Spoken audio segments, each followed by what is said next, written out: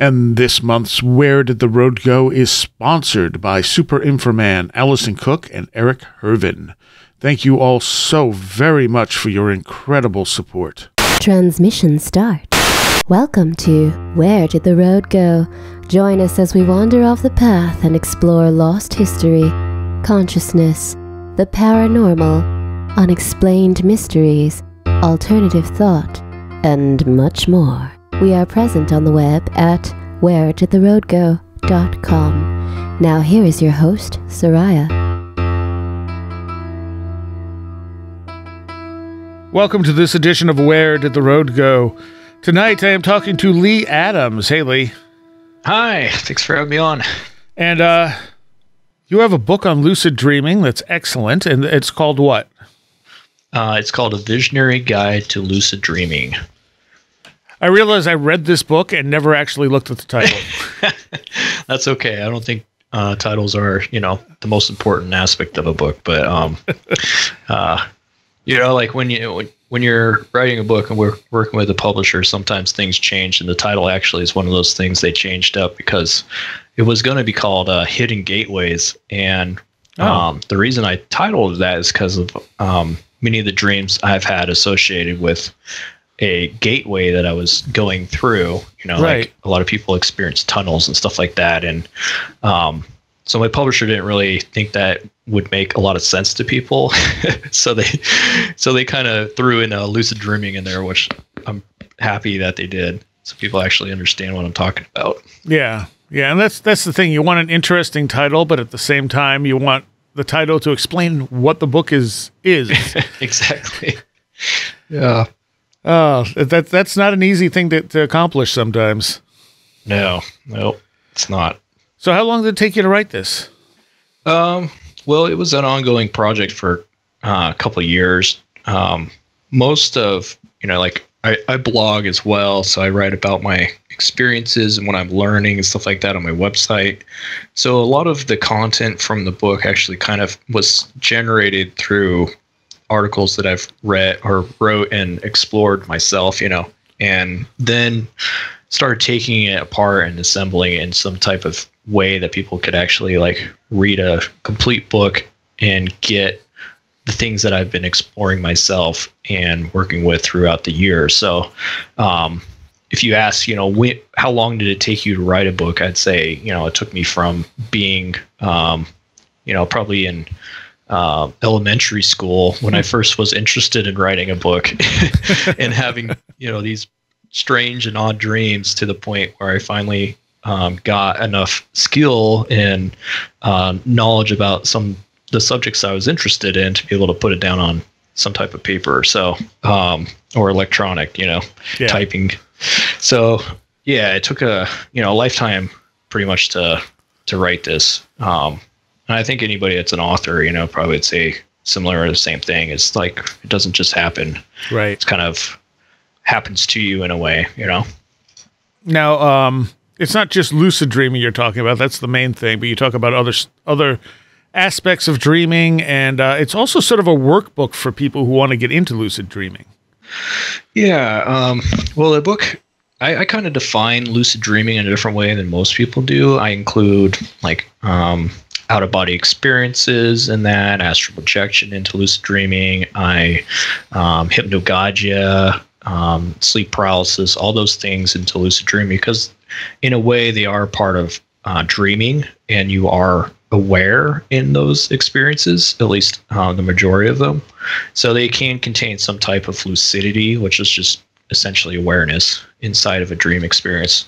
So I include all those inside that book, uh, as well as um, you know most most book lucid dream books that I read. They kind of spend a lot of time on themselves and trying to explain why they have these experiences.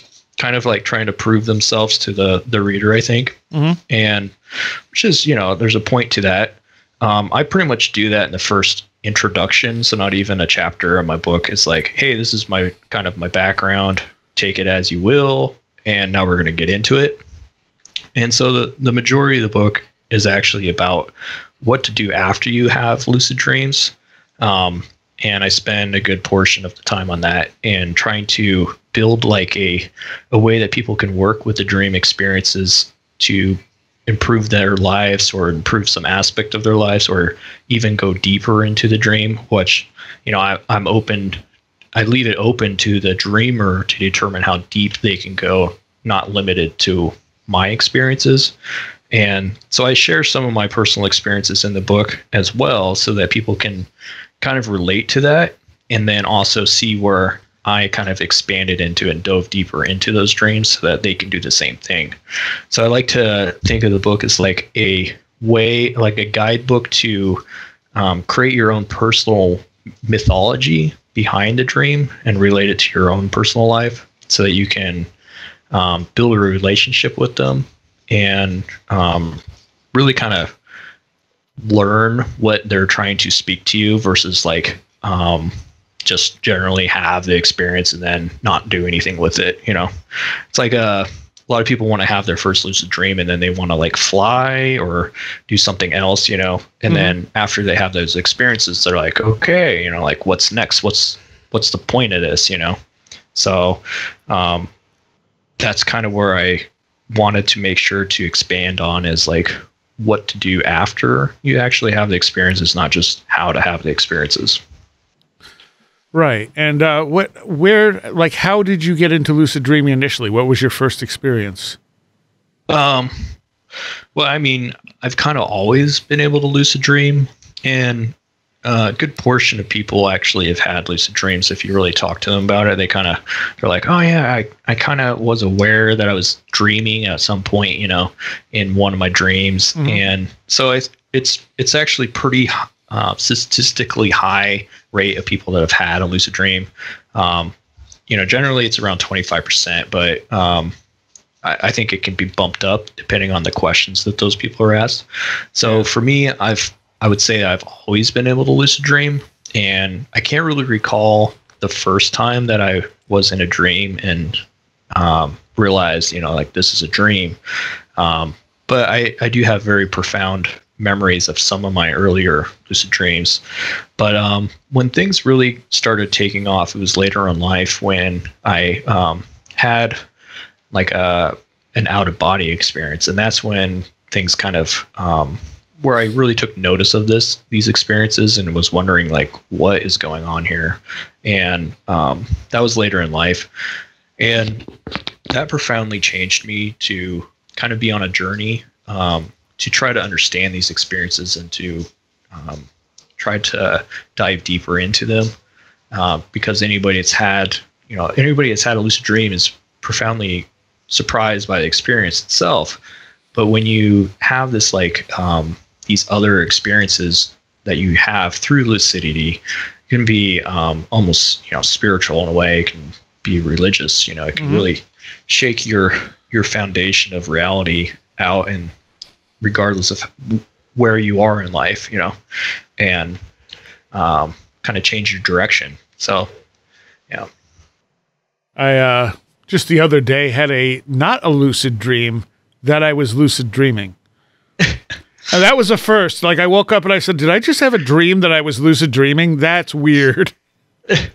yeah, that's an actually an interesting uh, discussion because a lot of people um, there's debate about lucidity and lucid dreams and the ability to actually have a lucid dream because it's um it's kind of complex to say but like the the brain is complex enough and uh, powerful enough that um you know there's always a dream experience that you're having so like when you go into a dream the world's kind of generated around you already you know there's yeah. there's a narrative that you already in, embody in the dream. So you're like, okay, say say I'm like riding a bike, you know, in this like bizarre world or whatever. In the dream character that I am, you know, I I I think that everything's normal. Like I'm that person riding this bicycle, going through this like alien world or whatever, and everything's fine, you know, until I wake up and I go, what was that? You know, like that was bizarre.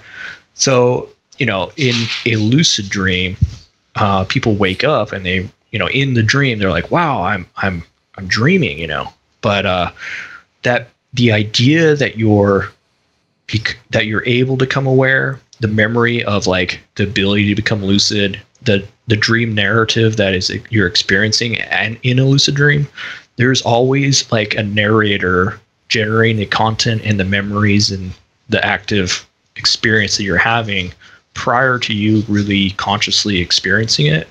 So in that sense, it's always kind of a debate if like people aren't actually just dreaming that they're lucid, like you're just saying, Yeah. uh, in your dream, or they're actually aware that they're dreaming.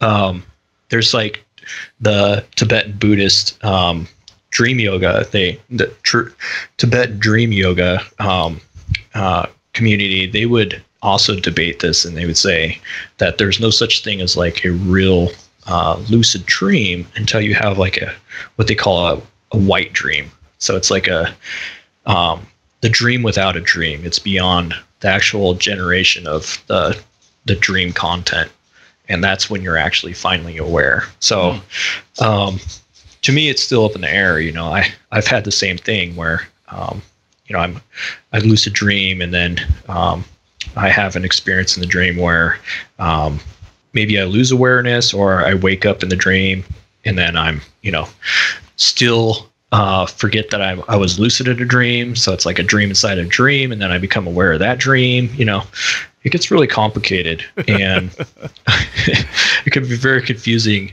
It's kind of synonymous to waking reality too. I think you know. Yeah. Well, I've had pl- plenty of lucid dreams. So, like, when I woke up, I'm like, I wasn't lucid, but I was dreaming I was lucid. That's that's that's unique to me. I've not had that one before.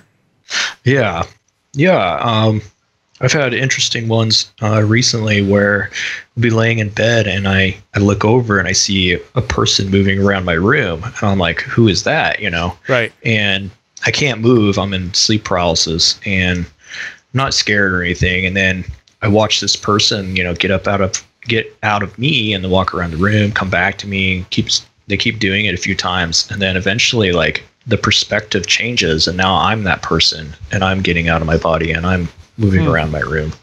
And it's like, okay, who am I? You know, like am I that person? And you know, like am I that person dreaming that person or what what is happening, you know? Yeah. Why, why do you draw a line between like out out of body astral and uh, or why don't you draw a line between out of body astral and lucid dreams?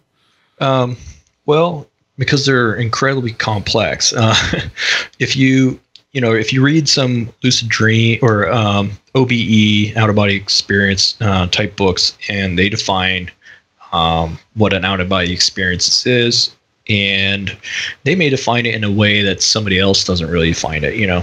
And there's a lot of, uh, if you get into the lucid dream community online or anything like that, there's a lot of debate in the in the definitions of what a lucid dream is or what an out of body experience is or astral projection and they go on and on and they have you know all these debates. So i i kind of just got over the concept of having um, these debates with people about definitions or what they think is like defines these things and said well if you're you know if you contain any type of lucidity in a dream then by definition you're you're lucid you know.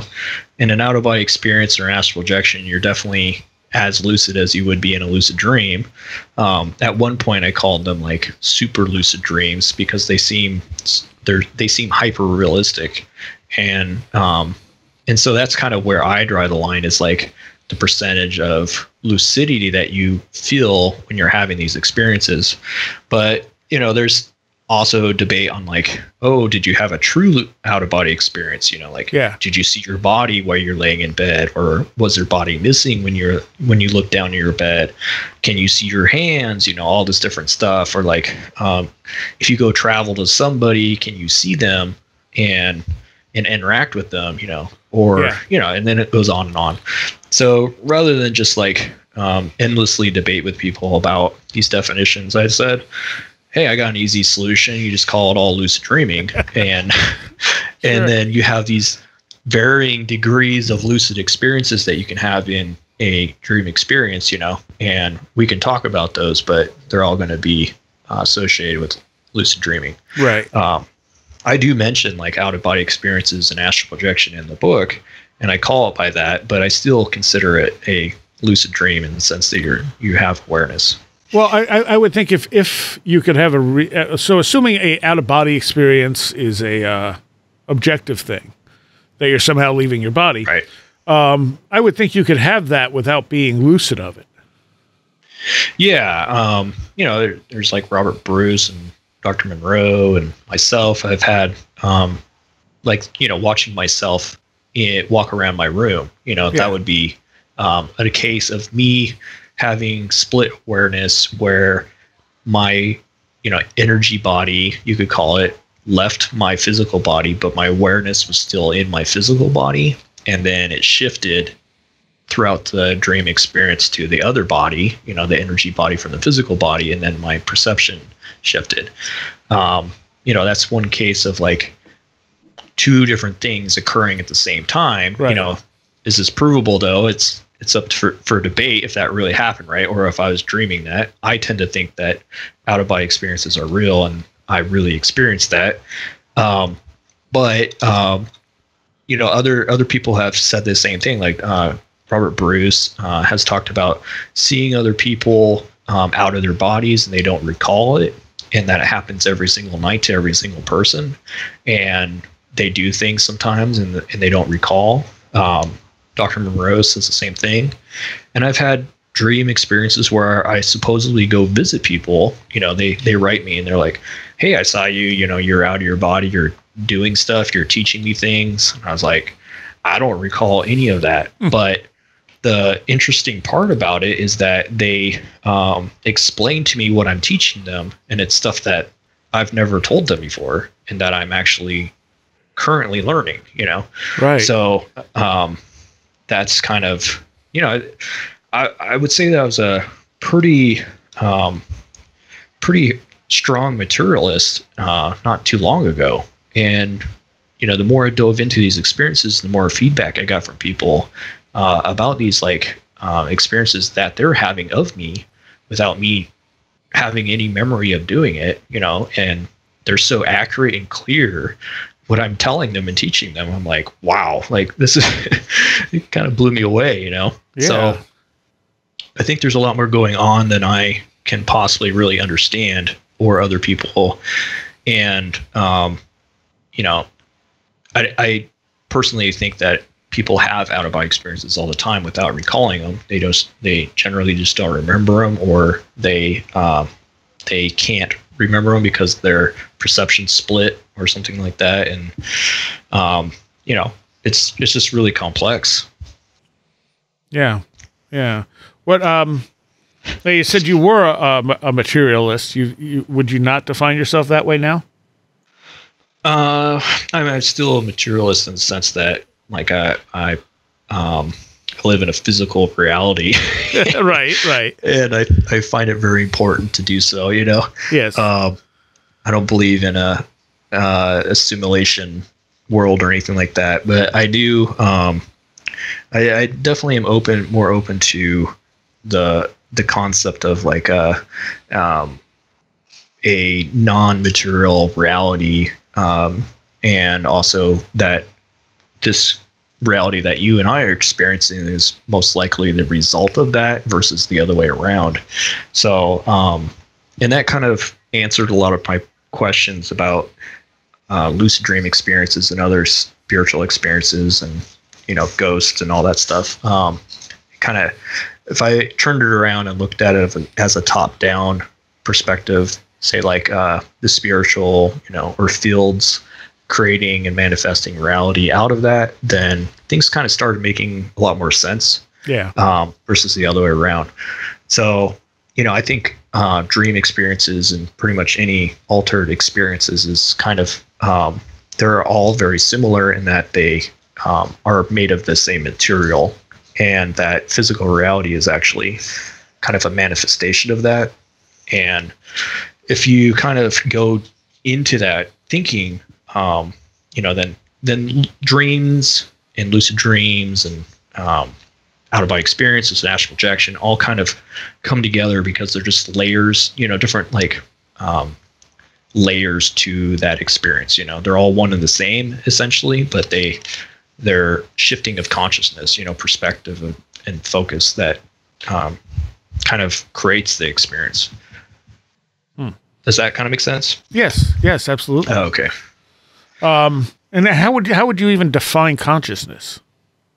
Yeah, that's a that's a great question too. I don't um, I don't know if I have the answer to that one. Yeah. Um, I think consciousness, uh, you know, it obeys the laws of uh, physics. You know, it's what we we call energy is consciousness, and consciousness can't be destroyed or created, and that it's always existed in all things, and that um that you can shift perspective, but um, it shifts it shifts consciousness is always there in all things. So it's really a shifting of attention to where that consciousness is that change the experience. So Right, right. um you know if you're if you're able to shift your focus and awareness to a different layer of that consciousness then you would have a different experience. And we do that all the time in our waking lives you know we can we can uh, zone out you know and Yeah. our awareness is focused on something else and then we come back to you know like driving a car or something like that Right, right. and suddenly we're like whoa I, I don't know how i made it to work but you know i'm glad i did um, but you know our our consciousness was somewhere else you know it was in our imagination or something you know and or in a podcast we're listening to or something like that so um you know i in that sense it's hard to define what consciousness is besides all things you know like all things is conscious so Well, well, yeah, and uh, what was it? Colin Will was it Colin Wilson that that defined the un- that sort of part of us as the robot?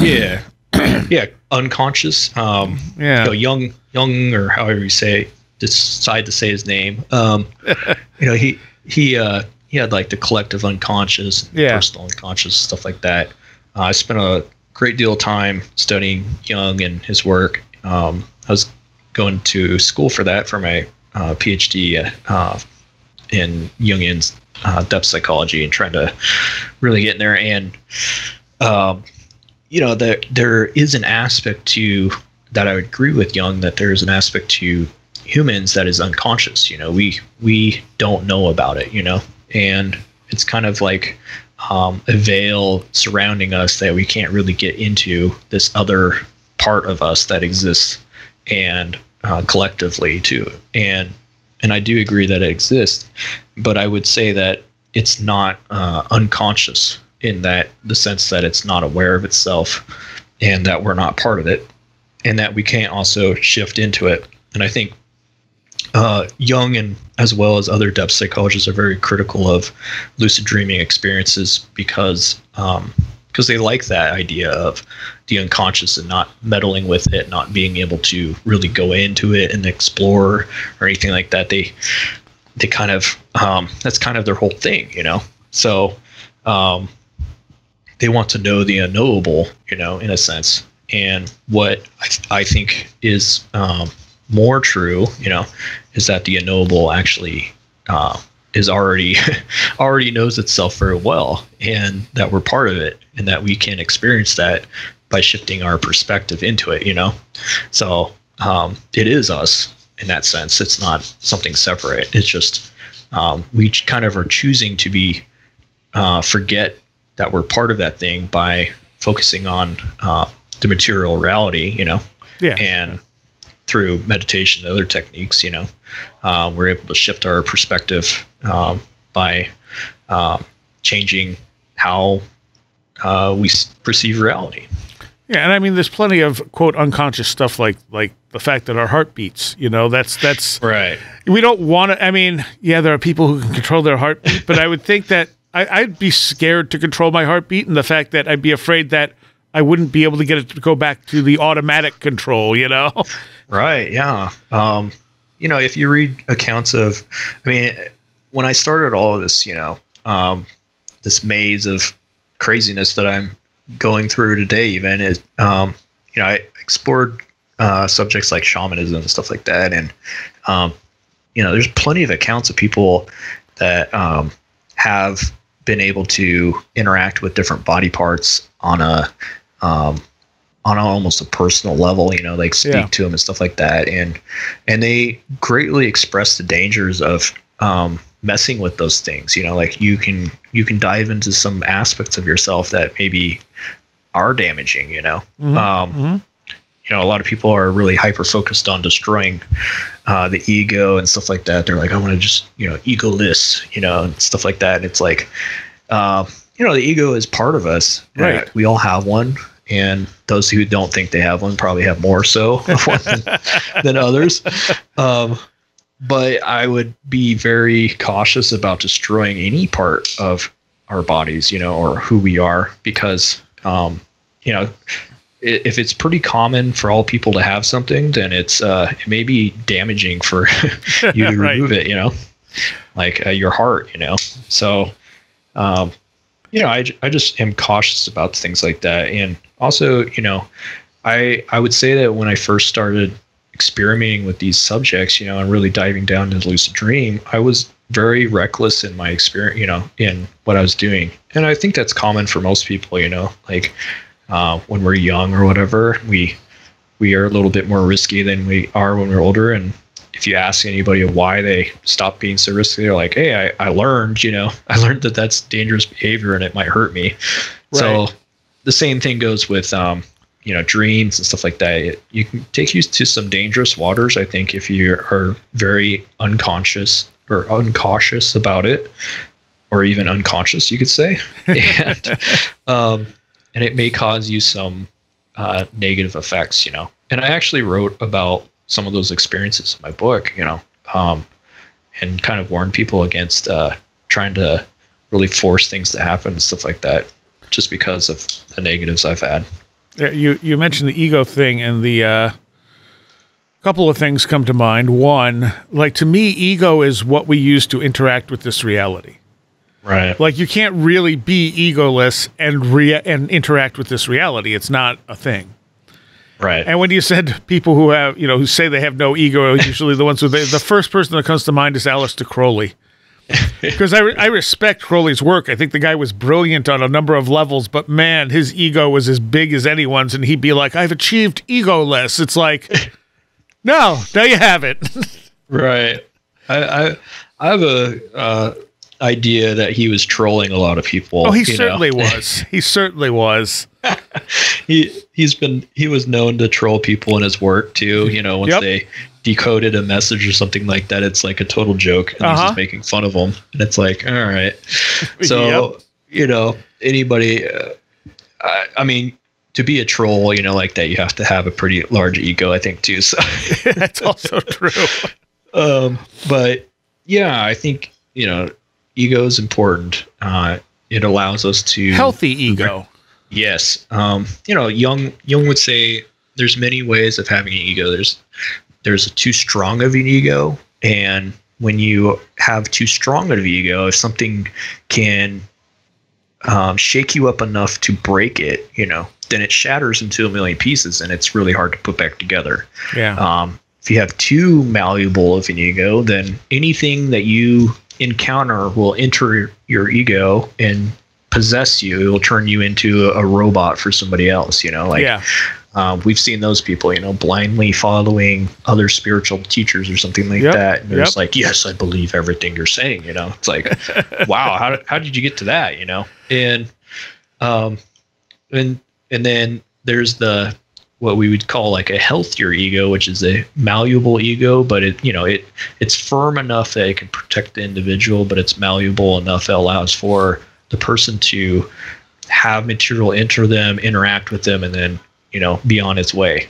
Um, if you if you do any research on like uh, default mode network stuff like that, and that's a common term today for like psychedelic use and meditation and stuff. They're like, oh, this disrupts the default mode network and all this. Well, if you if you dig a little deeper into default mode network and the operation and say like um, people with dementia or Alzheimer's or anything like that, and you start seeing the um, correlation to default mode network shutdown and dementia, then it kind of brings into a different perspective of the dangers of not having an ego. And because um, dementia patients, you know, they they are essentially losing their ego. They're losing their sense of self, time, memory, all Yeah. those things that are associated with ego.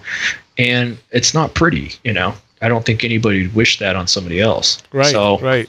um, you know, there's there's a way to be when you're alive. I think. And there's uh, I I don't know uh, the answer to what the purpose of being alive is, and I don't I wouldn't trust really anybody that would tell me that either. Yeah. Um, but I know I- it's important, and I Yeah. know that ego is an important part of being alive. And when we die, we definitely lose ego. So it Yeah. will come Yeah.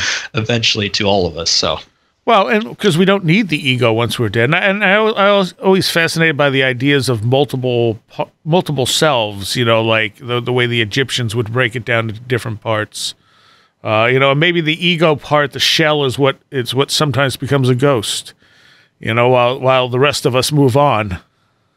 Yeah, the image that comes to mind is like a, a, a beautiful flower. You know, like the flower isn't um, the whole entire thing. You know, that's that's the end part of the plant. You know that that blossoms and is beautiful, but there's a lot of ugly things that you could think of. You know, that go on with um, a flower and making it into a flower or a plant Right, turning right. into a flower. You know, like uh, they're usually in um, manure and things like Yep, that. You know, yep. getting nutrients and all that, and the dirt and all the grime and everything. And it's like, wow, this is this is kind of uh, nasty, you know. And but it turns into this beautiful thing in the end, you know. And I think um, life is kind of like that. It's you know we we we identify these things as nasty because well it, it's hard to interact with people that have ego you know and because Yeah. they're always trying to get their own way and Right. uh you know but that's that's part of the blossoming process and then eventually um you know when we're ready to pass on then um we've fully been developed you know hopefully to the point that we turn into a beautiful flower you know um so I think you know. I think there's correlation to that. If you could talk to a plant, I wonder what it would say. You know, it's Yeah. like, oh, I'm at the I'm at the end of my life now. You're like, no, this is the most important part. You're like flowering. It's beautiful, and it's like, man, I'm done. You know, like there's nothing left to me. And it's like, what? So, you know, it's I don't I don't know that for a fact. You know, Yeah, materialist to me is like, well, are you sure that's what's happening? You know, but um, you know, I I tend to think that that It's is good- kind of It's true. a good metaphor. right. Yeah. There's there's a quote from your book, and I don't remember if you were quoting someone at the time, but you said, "Not conscious is is not aware of the unconscious, despite us being driven by it."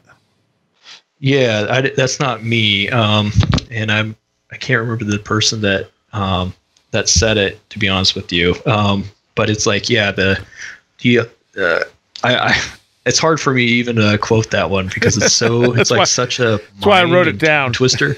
yeah, um, it's essentially saying like the the unconscious is not unconscious of itself. You know, Right. and and it is such a um, you know in our culture it it's so bizarre that people use the word unconscious you know and then try to make sense of being conscious of it and um, like today i was reading about unconscious bias you know and um, a side story i did jury duty and they had us watch a video on um, unconscious bias and I, I was sitting there and i had a Jung book in my hand even you know and i was like I was like, what are they talking about? You know, like being conscious of un- the unconscious. I'm like, what are they? What is going on here? These people are crazy.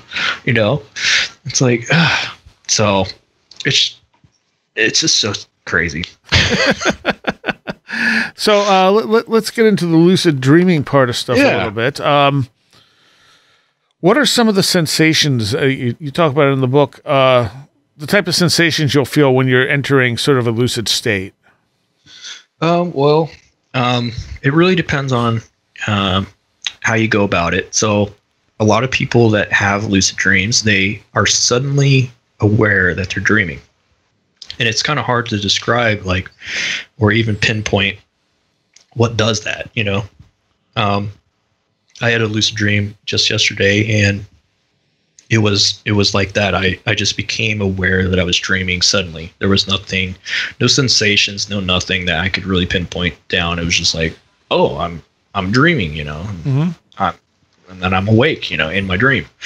Um, but in other cases, you can have transitional experiences into a dream state and hold awareness with those, or even become aware of those sensations and then pass them on to a lucid dream because you're you're holding on awareness while you're actually transitioning into a dream state. And a lot of people, you know, they call that like sleep paralysis or hypnagogia and stuff like that. And um, so a sensation of like falling or flying uh, can be associated with having a lucid dream. And a lot of people say that flying dreams are actually um, you're having an out of body experience, and that's why you're flying in a dream. And yeah, yeah. you just kind of um, your brain puts together a story so you you just think that you're flying an airplane or you're doing Superman or something like that. Right. And but uh the most um memorable uh, experiences with sleep paralysis because it can be absolutely horrific and ter- terrifying for a lot of people. And it's very real and um, it's almost physical you know it, it is physical in the sense that you uh, sleep paralysis is where you, become aware that you can't move. There's a uh, a phase in sleep where it puts your brain uh, your pons in your brain actually physically shut down your motor control in your body besides your eyes and it makes it so you don't act out your dreams. And so for some people they can become aware when that mechanism takes place and feel the paralysis. So they they realize they can't move. And um, during that experience uh, people can have the split awareness so they can um, see things or hear things or hear themselves even in, as like two different people and also you know you can have vibrations um, things like that where it's it feels like a intense vibrating you know like um, like a train's going by almost like you feel the vibration. And it can be very jarring um, and but if you learn to like um, accept that experience and can kind of allow it to process it's one of the best ways to get into a lucid dream experience because you can hold on to your it, essentially when you have these experiences the sleep paralysis you're awake and and dreaming at the same time. You're transitioning into a dream state by being awake. Yeah. and if you can hold your awareness through that process then you can be completely aware that you're dreaming you know almost every single time that you go to sleep if you can do that. I'm not one of those people that can do that. Um, if i practice enough then it will happen more often. But um, you know for some people i would say they're gifted you know they can they can definitely do that. Or with a lot of practice people can do that. They can train themselves to do that. So um, you know th- those are just some of the sensations that you can have. Um, you know you can hear um, a lot of people hear different things like um, bees or chimes or slamming doors and things like that. Uh-huh. uh, those can oftentimes they jar you awake you know. But uh, they're considered like tests to make sure you're asleep too by the Hmm. brain. The brain's trying its best to make sure that you're actually asleep so that you're um you're not going to act out your dreams and meddle with things while you're asleep. So it does its best to try to make sure that you're you're sleeping. And so those are just some of the sensations. Now, there's we've done a number of shows on sleep paralysis um, because it seems like yes, sleep paralysis has a fairly you know common sense explanation, but we've also wondered, being an altered state, if people are sometimes actually dealing with an other. Um, right Also, the fact that it seems like there are certain cases where sleep paralysis has been catching. Like someone Yeah. will not have sleep paralysis, will sleep with someone, you know, because they're in a relationship or whatever, and then they start having sleep paralysis because the other person does. Yes. Yeah, you're uh, you're tapping into one of my favorite subjects of all time, which is sleep paralysis. if you ever already noticed, um, I mean, I, I had sleep paralysis um, my first time uh, in 2006, and I had been lucid dreaming all my life up to that point, and that's after my first uh, or series of sleep paralysis experiences is when I had my first out of body experience, and things really changed then. Um, my first experience was like a physical attack for months almost nightly if I slept in one room. And um, it only ended when I finally um, ate the thing that was attacking me. I noticed you do that a few times. Yeah, and uh, oddly enough, I found other people doing the same thing. One, Um, one of my regular co-hosts, Ren Collier, uh, had an experience, and he ended up eating the thing as well. Yeah, yeah, it's, it's that's interesting. Um, I'm not surprised at that at all either. Um, It's such a even weird. like it's a weird response. it is. It's very weird. I've eaten two people now in my um, in my dreams, and and they're both were in sleep paralysis. It's like a, it's almost like an automatic response. It's not something I even thought about doing. It's just something I just did. You know, Right. And like an instinct. And there's a tribe. There's like African um, uh, groups that also uh, have been known by like in their indigenous cultures where they eat spirits. So um, in South America, shamans uh, also eat spirits and they put it in their bellies uh, in a material they call phlegm, and they use these spirits as what they call darts to attack or defend themselves from other other shamans and spirits and stuff like that. So there's definitely like a Huh. cross cultural link between eating spirits and storing them in your stomach, stuff like that. But um, you know, the, the sleep paralysis stuff. Go back to that. Um, the there's a friend of mine. Um, his name's Ryan Hurd. He he wrote books on sleep paralysis, and I've talked to him quite a bit about the subject. And um, you know, he has people that he's talked to where um, whole like towns of people, like a whole town of people, um, experiencing sleep paralysis um, so Really? commonly that the police officers every year brief their uh, troops troopers to um, kind of understand that this is going to happen so Huh. that when people call them in the middle of the night and say hey i had an intruder you know that don't be surprised if there's nobody in the house Right. and they wrote Ryan to try to get some sense of this, and he ended up uh, not being able to really help them at the time. Um, but then there's like the Newfoundland. Uh, uh, they also have hagging, which is like a cultural tradition where they can essentially curse somebody to have the old hag um, Oh. come and visit them, and then cause them to have sleep paralysis. Um, one experience I had where a group was having sleep paralysis was while I was in the Navy. Um, I was actually we were on deployment, and some of my sailors I was in charge of they came and they were talking about like you know this nightmare and people screaming and stuff. You know, and I was I was kind of semi paying attention to them, and then I was like, okay, you know, some, what's going on here? Because they were really excited about it, you know, and so I listened in, and and essentially what happened is um, one person um, in their they sleep together in what's called a berthing. It's like uh, 80 people sleeping in one room, wow. and one person started screaming, and they were like, "Let me out! Let me out!" You know, and just banging on the walls and stuff.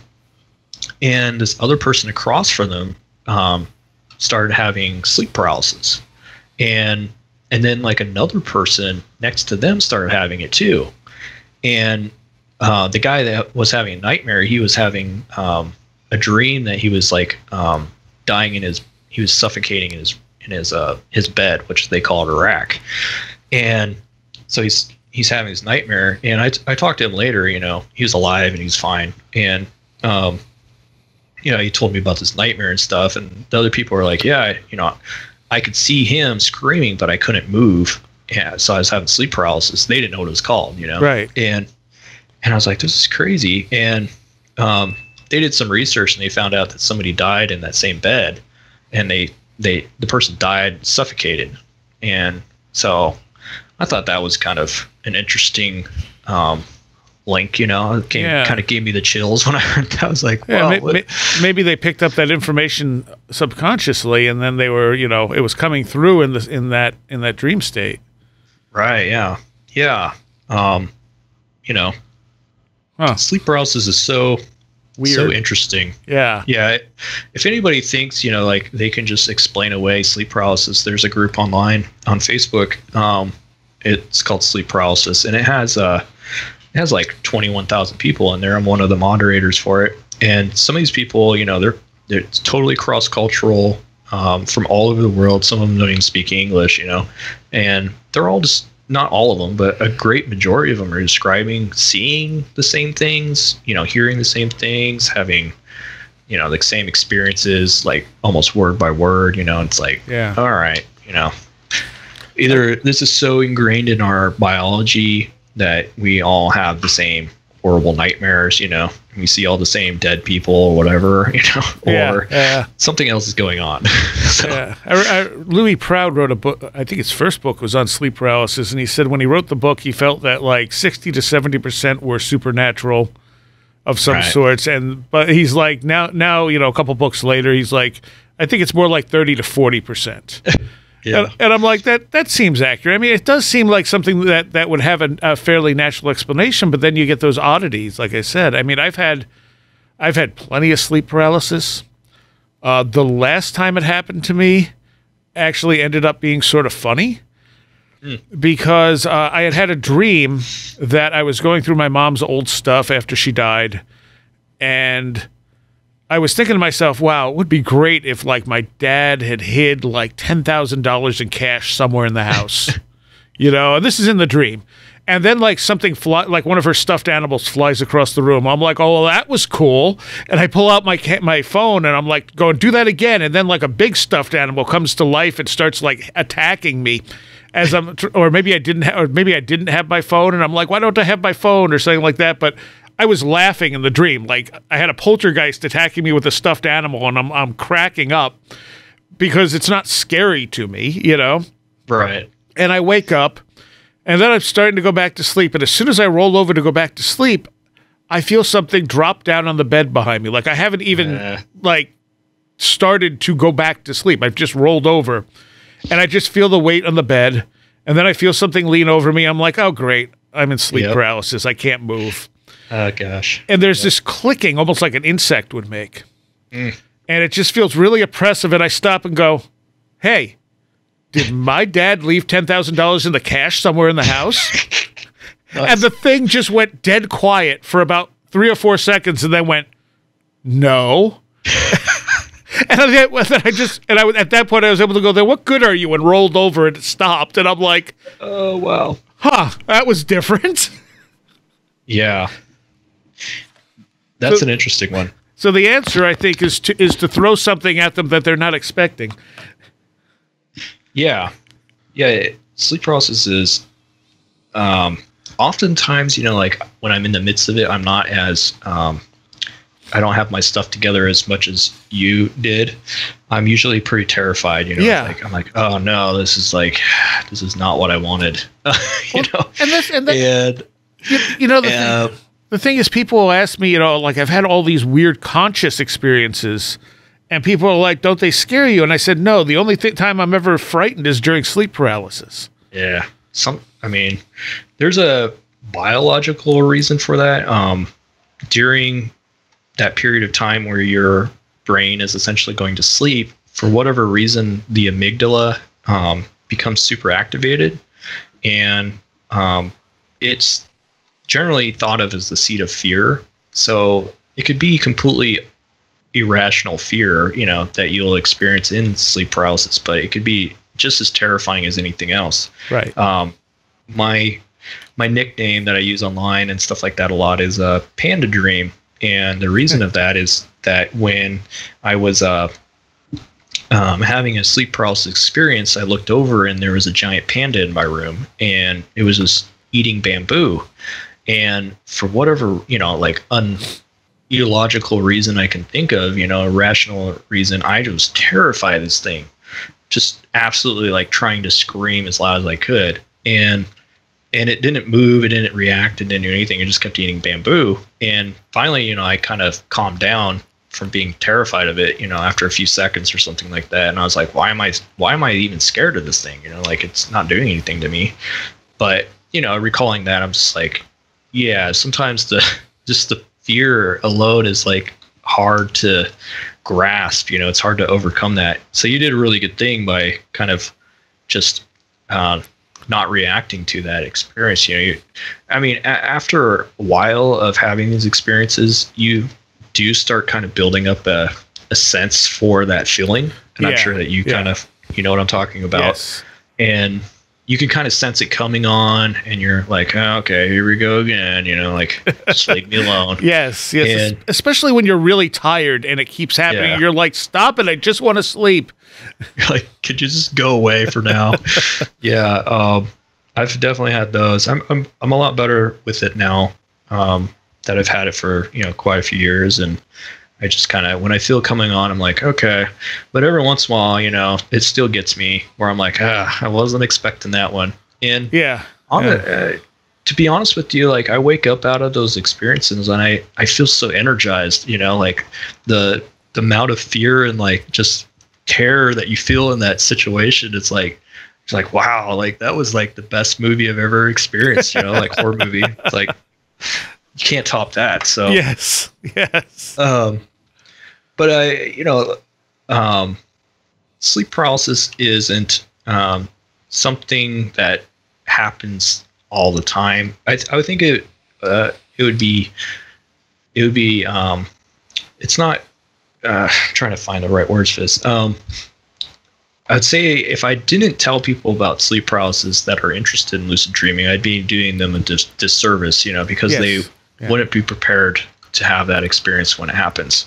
Um, but I think it's also a necessary aspect of consciousness to experience that thing because it's, in a way, it's challenging you to deal with the fear, to deal with what the essence of fear is, and to try to learn about that. So, you know, if, if somebody's having uh, sleep paralysis and the fear-driven experience of that, um, you know, it it's important not to try to resist that. I think as as much as possible, and really try to understand it and try to like um, work with that so that it no longer bothers them. You know, Yes. um, yeah. because when I had my first out of experience, to tell you, it was very terrifying before that for me. Not saying that everybody's is like that, you know, um, but fear at that time in my life was something that I, I needed to work through. And even though it wasn't fun, you know, to do that, and it was seemingly out of my control, in retrospect, it was one of the best things I could have done for myself, you know? Yeah. So um, it played into a lot of things later in life that um, could have been terrifying for me, but really I can always look back to that um, that fear I felt before and say, okay, you know, like I worked with that before. I know I know what fear is, and I'm okay with it. You know, at least up to a point. So I had a, a very, and I don't know if I've ever mentioned this one on the show. I had a weird lucid sleep paralysis sort of situation where I had woken up and I knew I was asleep. Uh, so I was sort of paralyzed, but I was still sort of in a dream state. Um, and it felt like I was trying to swim up to wake up, like I was trying to wake up. And at some point, I finally sort of broke the surface, like breaking the surface of being uh, almost drowning, you know? And I break the surface. I wake up. I'm actually awake. And it literally felt like something came up from behind me, grabbed me, and pulled me back into the deep, deep sleep state. wow, And I've had one other person describe that to me. And I was kind of like, wow, okay. I thought I was the only one who had that one. Um, I've never had that one, but I have had false awakenings where um, uh, I and it. I mean, you're kind of describing a false awakening in the sense that you thought you were awake, but you're still uh, in sleep paralysis. You know, you're still dreaming, but seemingly pulling yourself out of that. well, in, Um, in this case, I actually woke up. Yeah, that's interesting. I haven't had I have not had anything like that. I, Um, I, I have had the false awakening thing. I had I had it. Re- I've had it repeat numerous times where it gets really frustrating because you Right. think, oh, I'm awake, and then like you look at the clock. Like, like in my case, I was looking at the clock, and the clock wouldn't have numbers, just like symbols on it. right. and, yeah. and I'd be like, damn it, I'm still asleep. Wake up. Yeah. Um, well, I've had, I'll describe two different types of things. Um, one that it wasn't scary or anything. Uh, I was having, I was having a nightmare and I, um, I opened my eyes in waking life and I looked at um, my wall that I was sleeping next to. And I looked at the wall and I looked around my room and then I closed my eyes and went back into my bed or into sleep.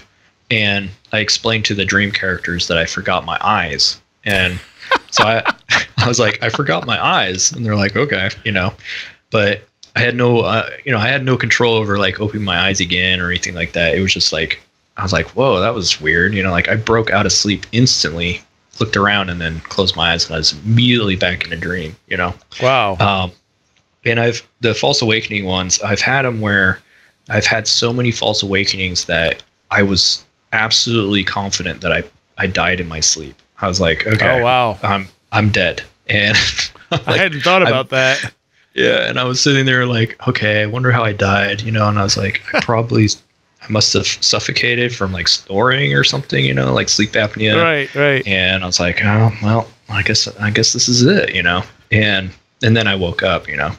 Um, so it um, I've not had one where it pulls me back into um, sleep like that. Not That's not only happened like once. that. Yeah, that'd be uh that'd be terrifying in its own way, you know. It was. No, it totally was because I felt like I was stuck. I mean, because, you know, sleep paralysis is bad enough when you can't shake it. yeah. But, you know, to get out and then have something physically pull, it felt like a, something literally like just came up out of the dream state behind me and sucked me back in underwater. Yeah. I mean, people would describe that as being your your other self, you know. And it's Yeah. It's like, no, you're not done yet, you know. You you still have something to learn here. so we're going to shut you down. And and again, Um, it's, it's it's always hard to say like, is this are these all other parts of ourself, or are we occasionally dealing with others, Right. or other things, other spirits, other people, whatever? Right. Yeah, and sleep paralysis definitely encountered things that seemed outside myself, you know. Yeah. And very illogical, you know, I can't rationalize those things as like anything that I would ever think about or why I would have those things. Um a lot of dead people, you know, I've seen a lot of people that seem very dead and um not necessarily mean or anything, you know. Um You seen aliens. You relate a that- couple of zombie dreams in the book.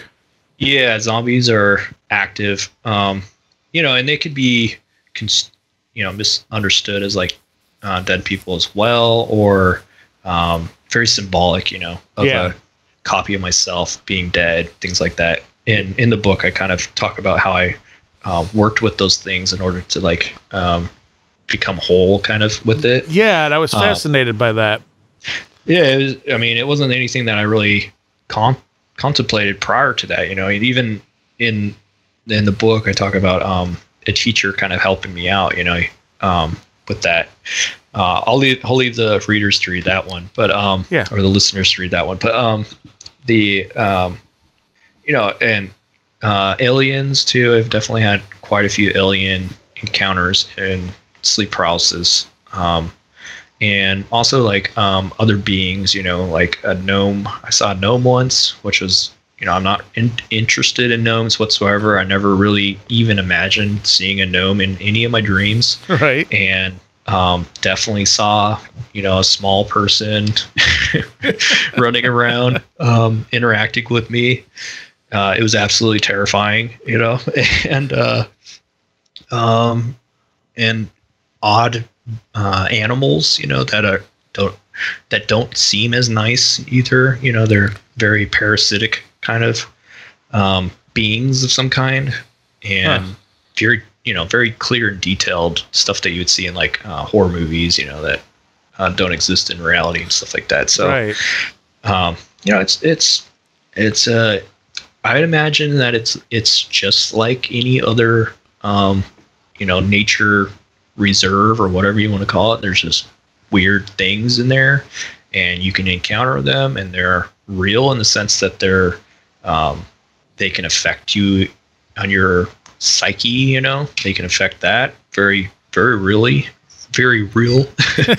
uh, you know, and physical. Um, you know, there's plenty of cases of people being physically um, changed based on some sleep paralysis experiences and stuff like that. So Yeah. I can't really throw those out. You know, throw those out. Um, I've never had that happen to me uh, myself, but you know, I, I take everything with a grain of salt, but I also leave uh, it open. You know, Yeah. in the sense that just because I haven't had experienced something doesn't necessarily mean it's not true. Sure. And um, you know, a lot of people I think do that. They they go, oh, it's you know, this is impossible. It's not real. and, until you have the experience, you know, and then it changes you. And people would say the same thing. I've had people say the same thing about lucid dreams. They're like, "Oh, that that there's no such thing as a lucid dream." You know, it's like, okay, yeah. you know, like what? you know, like how can you even say that? Just because you haven't experienced it doesn't mean that it's it doesn't exist. You know, what about all these other people? So, um, you know, I uh, I'm not really in uh, business to, to debate with those people. You know, and uh, my business is dealing with my own personal experiences and how I can relate to that and grow from that and become a better person. You know, yes. it's not about um, disproving or proving somebody else's experiences right or wrong right. or whatever. So, um, you know, that's kind of how I take uh, my mantra life is now. Uh, I would say I used to be in that business of trying to disprove stuff, you know, and that was when I was hyper uh, materialist, you know. Right, right, and, right. And now well, I learned my lessons. How about I'd say that, you know? I, t- I tend to look at all of this stuff like, you know, when people say, oh, we, you know, we need proof of UFOs, we need proof of Bigfoot, I, I, I would say we, there's no real doubt that people are experiencing something. Right. You know, we know this stuff goes back through all of our historical records in every culture. You know, weird lights yeah. in the sky, weird, weird creatures in the woods, you know, whatever it is all of it has, you know, so the interpretations may not be right. Right. You know, but the experiences are real. So when we're saying we need to prove they're real, I don't think we need to prove they're real. I think the fact that that we have seen this stuff throughout history suggests that something is happening. It's just a matter of what. Right. Yeah. I think um, I think you're absolutely right.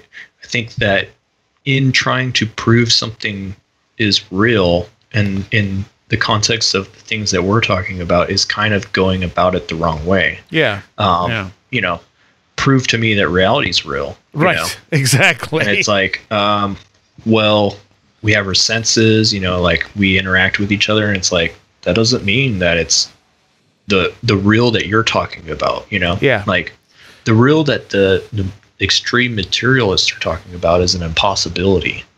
It's yes. it's not possible. So nothing by their definition is actually real. You know, it's uh, right. Uh, it's flawed. So, um, you know, in that sense, you know, anybody that knows anything about psychology um, could evaporate their their debate on realness, you know, pretty quickly. right. And, and that's used in anybody in physics, you know, or math or anything like that could eventually come to the same point where they're like, um, you know, what you're what you're looking for is not going to be there, you know, right? Uh, in anything that you study. So um, it's like the the the expert of any subject eventually comes to the conclusion they know very little about what they you know what they think they know. Right. So I think that it all circle it all circles around and comes back to itself. Um, do would you like me to talk about some of the techniques for lucid dreaming for your listeners? Yes, so they, um, but okay. I, I also wanted to before you get to that talk about yeah. how people can remember their dreams. I know a lot of people for some reason uh, will tell me, "Well, I don't dream," and it's like, "Yes, you do. You just don't remember." yeah. Um, well, you're absolutely right. Um, people do dream, you know, and they generally just don't recall their dreams, and that's perfectly okay. There's nothing wrong with that. It's actually for the most part, people that don't recall their dreams are healthy individuals. Um, if you recall your dreams all the time, they're I would consider you as abnormal because that's not normal for people to do that. Um, and it also may be evidence of some type of sleep disorder of some kind. So, um, hmm. you know, remembering your dreams every single night in full detail all the time is probably not um, something you would want to encourage a person to do. Um, but you know, dreams definitely have uh, an aspect of them that is trying to convey a message, teach us something, and are really important to recall. You know, when they are recalled, and somebody that doesn't remember their dreams and would like to, I would encourage them to try to do techniques and stuff that so they could recall it because they have a desire to do that. You know, um, I definitely would push somebody into trying to recall their dreams. That's kind of what I'm getting at. Um, right, right. So you want to be safe and healthy about anything that uh, I talk about. Um, but one of the, you know, the the best ways to recall your dreams is to try to increase lucidity in your dreams. So, Okay. of course, right? Because then you're aware and you can recall them. Right. Um, right. Right. but but different uh, things that people can do, you know, to really try to just recall is to start like dream journaling. Yes. And and the reason, you know, there's a lot of debate to why dream journaling works, but it absolutely does work uh, for very majority of people. And the, um, you know, simply having a, a journal next to your bed and writing it down or or writing it on your phone is very accept, susceptible or acceptable for improving dream recall. And the more you do that, the more that you'll recall your dreams. Um, the reasons that I think that this works is because not only is it refreshing your memory in the morning because dreams as anybody know um, can fade pretty quickly.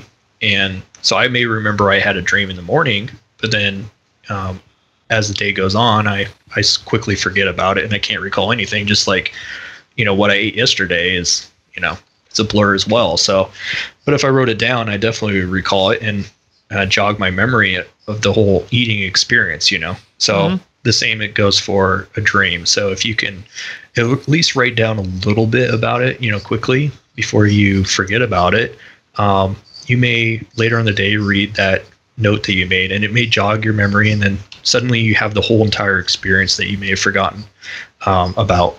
Um, and a dream journal is great for like historical dreaming too. So i have many journals that i've kept over the years and sometimes i go back and i go wow like i totally forgot i had this dream. And it was like Uh huh. at the time profound and life changing. You know, Right. now I'm like, I just don't remember it. And so, um, those are always, aw- you know, really cool experiences. Um, but dream journaling, another thing that I think that dream jour- journaling does is it it realigns your focus and attention to what you're trying to get. You know, and it's kind of giving your, you could call it unconscious or subconscious or whatever you want to call it, um, the uh, a shift in focus for you. You know, it says, "Hey, um, Lee, you know, m- myself is interested in recalling their dreams, so I will give Lee more memory of those dreams. You know, or even more intense dreams, or convey a message in a way that Lee can get in the dream. You know, Mhm. so it's kind of making a space for your dream to express itself, or for your your unconscious or subconscious to express itself through dream imagery, and it may reunite ignite your your uh, nightly dreams. So those are really um, dream journaling. You know, is a really profound way. Uh, another thing that dream journaling does is it kind of creates a ritual of um, the dream experience and in modern days and times, we don't really do rituals, or we don't think of rituals as anything that we do, but we definitely have a daily ritual that we do, and it kind of refocuses our mind on the things that we find are important. You know, like eating breakfast at this time and things like that throughout the day. You know, is a ritual, and it makes us makes our mind say this is important. So if we have a daily ritual of um, writing, taking the time and energy and writing in a dream journal, our our mind is going to say this is important to me, and I'm going to put the energy and the focus into it, and really, um, I'm going to get something out of it. Yeah, I think with dreams, the more work you put in, the more you get out. So um, those are definitely uh, dream journaling is a great technique.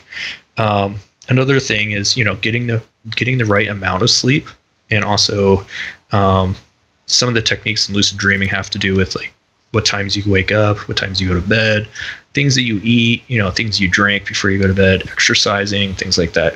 So um, in my book, you know, uh, one chapter is is, is really focused on um, good sleep hygiene because it's Mhm. important for anybody, including and especially lucid dreamers, to get good quality sleep as well when they're not, you know, practicing a lucid dream technique or something like that. So getting good night's amounts of sleep will also improve your ability to recall dreams, stuff like that. Yeah. Um, and the longer that you sleep also will improve the amount of memories that you have from dreams because uh, the longer that you stay asleep, um, essentially you have more REM, and REM, uh, random eye movement, is generally associated with having a dream. Um, there also are non REM dreams, but they're not as common as REM dreams um, based on evidence. So, um, people that practice lucid dreaming or dream recall generally try to stay asleep longer periods of time in the morning because then um, you have more dream recall. Um, so there's just some, I'd say, easier ways of improving dream recall, but there's other like supplements and stuff like that that can uh, change how you uh, how you recall your dreams as well. Right, right. You get go in a pretty extensive list of things in the, in the book. Yeah, um, you know, there some are more controversial than others, um, and um, some are damaging to dream recall and stuff like that too, but can be used as tools if used properly. Um, and you know, one common thing that people do, um, which I would say is very um, healthy, you know, is is drinking. Um, and you know, alcohol is definitely can cause an increase in dream recall um, because of how it interacts with the brain when you're intoxicated, and then when you become sober, it allows for the brain to essentially uh, have sleep re- or REM rebound, and it increases the dreams um, when you become sober. So if you had a heavy night of drinking and you woke up the next day and you're like, wow, like my dreams were really intense and I had a lot of them, it's because when you're intoxicated, it suppressed your your ability to actually dream. And then once you start sobering up, that rebound effect, which is like um, essentially the the brain will get what it, it desires in sleep with interest. So it's like a bank. And mm it's going to loan you it's going to loan you awareness you know for a period of time but it's going to get its money back you know in rem with interest. So you'll get actually more REM than you bargained for. So um, you know that's kind of a quick explanation of why people have lots of dreams when they uh, sober up you know the next day or whatever. Gotcha. Um, one of the things you don't touch on in the book what, what about things like prophetic dreams? Um, well, there's a good book actually coming out on that subject from Inner Traditions, and uh, uh, I'm trying to remember his, it was Eric, Eric Wargo. I think oh, Eric, yeah, I've had Eric on before. He's uh, yeah. he wrote an excellent book called Time Loops. Yeah, so his second book is actually on prophetic lucid dreams. That makes and sense. prophetic dreams. Yeah, yeah. So um, he, he's a interesting guy, and I had like an interesting synchronicity with him, um, where he wrote an article on alchemy and out of body experiences, and I really, it really, I really enjoyed it, and it, it opened me up to other topics, and um, and then later on uh, with my book, Inner Traditions asked me to review his book for him, so I was able to mm. read it beforehand and stuff, and he also did the same thing with my book, so it was kind of cool. Um, but he kind of uh, I never really thought that I never thought that prophetic dreams occurred at the level that he talks about. Um, but uh, he kind of opened me up to the idea of prophetic dreams um, uh, more so than I had before. I never really thought of them being a important aspect of my life for some reason. Um, I did have a semi uh, prophetic dream. Sorry, um, and I had a dream. It wasn't lucid or anything like that. Where um, my sister's boyfriend at the time, he went skydiving and he died. And I came home, and in the in the dream experience, it was just essentially me coming home and my sister telling me um, that she was really upset because her boyfriend died, and everybody was really upset.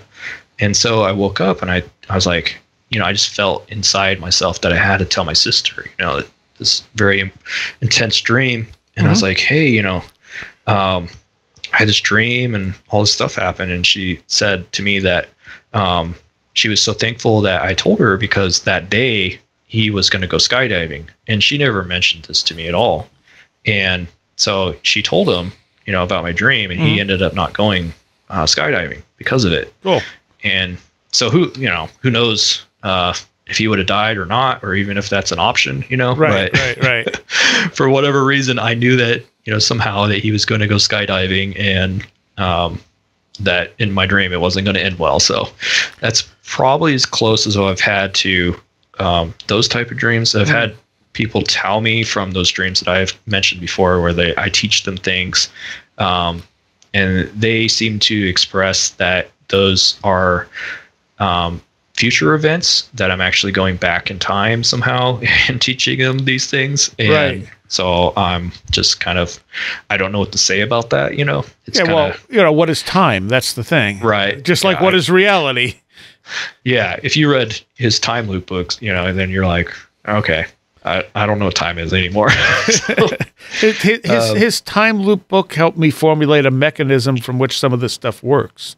right. So I mean, yeah, his book, his I don't necessarily agree with him on the block universe thing, but uh, Okay. he, he makes some really interesting points in that book. Yeah, I and, and you know you make a great point about his book as well as my. I, I would hope that people do the same thing for me. Is that if they if they find a disagreement with what I have to say, which is perfectly fine because I can't read my book anymore and say I agree with everything I had to say. It takes a long time for a book to get published, you know. Yeah. So by that time, um, many of my theories about you know I try to leave a lot of theories out of my book just because of that. I said, well, maybe in the you know in five years from now, this book is meaningless to me. You know, if I did that. So um, a lot of the things, uh, ideas that I've had in the past, you know, have changed and turned into other things. So, um, you know, it, it's important to, I think, to do that. Uh, take take what is positive out of it and say, well, maybe there's something here I don't agree with yet, you know, or So what? maybe the author doesn't, you know Yeah, and and people are more than welcome to email me or contact me and uh, you know they're like well what did you think did you think about this or whatever you know or um, you know i'm glad to talk to them and figure out what they think you know Right, right. i i don't have all the answers that's one thing i i've realized through all this stuff is that i just i don't you know i don't know what's going on no, you can just kind of experiment with it. Right. I think, I mean, I think these experiences are to teach us um, uh, not only uh, what it's like to kind of step on the other side, you know, to look through the veil, um, but it's also to teach us about the the waking world and how it operates, you know, and how Yeah. subjective reality can be between each individual and how Mhm. you know it's amazing that we get along already on the level we do with all this all these differences occurring in just waking reality you know um, what- what- compassion you know for other people And one of the things I've I've repeated, you know, to death is that nobody has the same life experience. Like Right. everyone's view of reality and and everything, it's it's going to be different. Even twins, because you're not having the same experiences. Like everyone, Right. everyone's view of what reality is is different. Yeah, I mean, you could say, um, describe to me what, um, what it what a strawberry tastes like, you know, Yeah, and you would have to describe it by other things that I've had, you know. Yeah. You can't describe it by itself. It's not a universal thing, you know. That you Right, can just be like, right. well, strawberry tastes like, you know, something that's universal because nothing's the, universal. stra- so the strawberry tastes like number one. exactly, like a yeah, like a number one. Oh, okay, you know, sweet. Um, The pear But- is six. Yeah, exactly. Uh, it's just not how we do things in in our reality. So, you know, in in my whole thing is okay. So, um, you know, these these fine subjective things can become really big things if you kind of amplify them. You know, like uh, these small changes from person to person really can make tremendously large changes in reality Mhm. um, that we all kind of just take for granted as being the same, you know, but um, we could be living very different lives, you know. We most likely are because of that, you know. Yes. And we somehow hallucinate together enough that we can actually have a conversation, you Yeah. know, not hate each other. We we have agreed upon reality. Yeah. I'd say it's agreed upon hallucination of reality, yes. you know, yes. too. Yeah, it's yeah, not even, absolutely. It's not even remotely close. It's a hallucination. You sure? So- you sure it's not just a simulation? Well, um, that's another di- discussion, I'd say, but um, I don't believe in a simulation. Let's just say that. All right. I believe I believe in a result from things. But Oh, I see. What a- I see what you're saying. Yeah, yeah, yeah.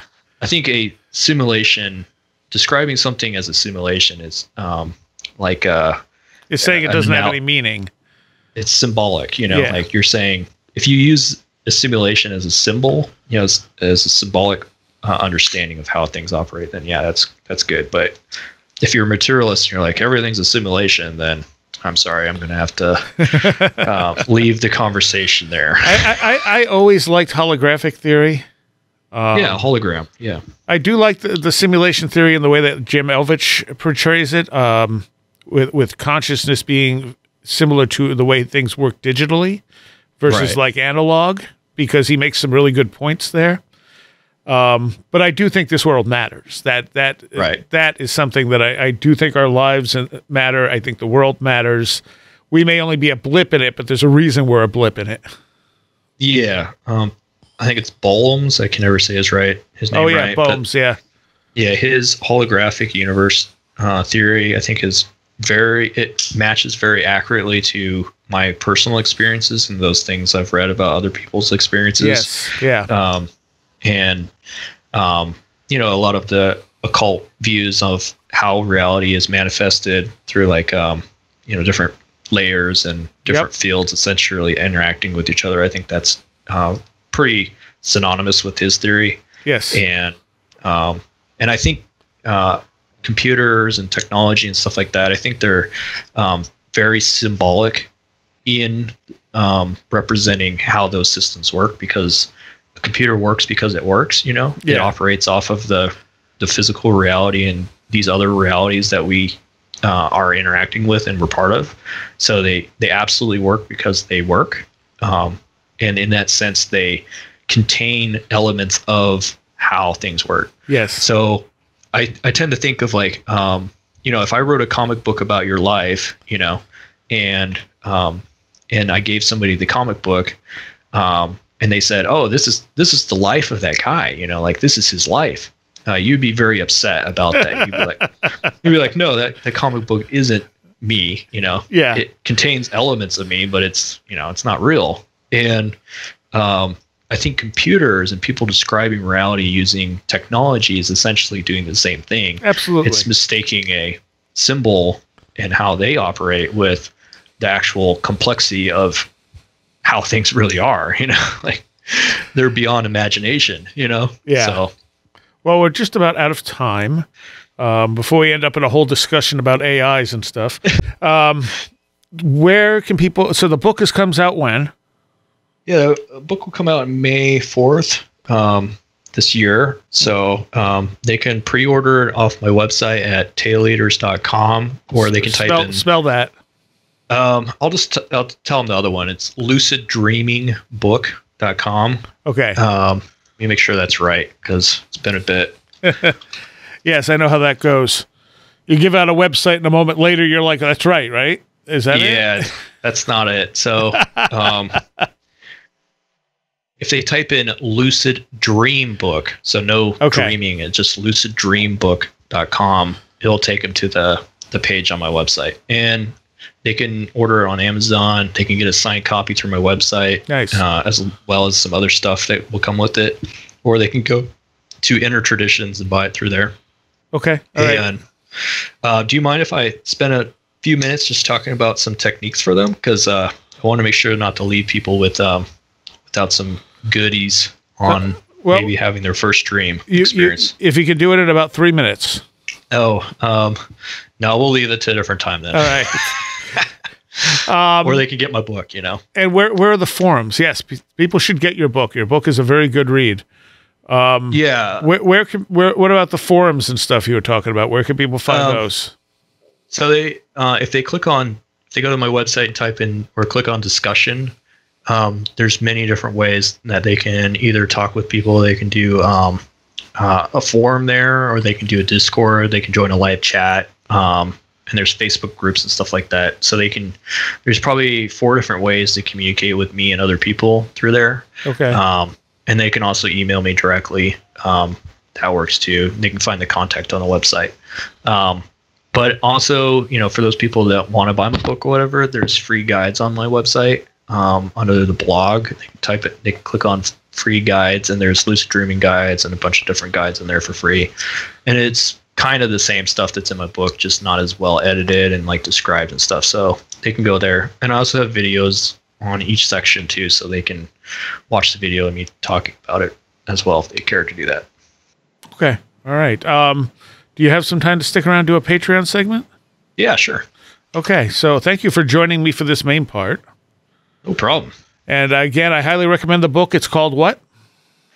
Um, uh, it's hard to remember because I changed the Yeah, I know. uh, a visionary guide to lucid dreaming.